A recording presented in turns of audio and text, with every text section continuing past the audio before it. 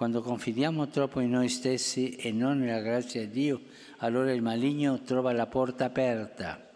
Ma il padrone non se ne accorge? No, perché questi sono i demoni educati. Entrano sen- senza che tu te ne accorga. Bussano alla porta, sono cortesi, no, va bene, va avanti, e poi alla fine comandano loro nella tua anima.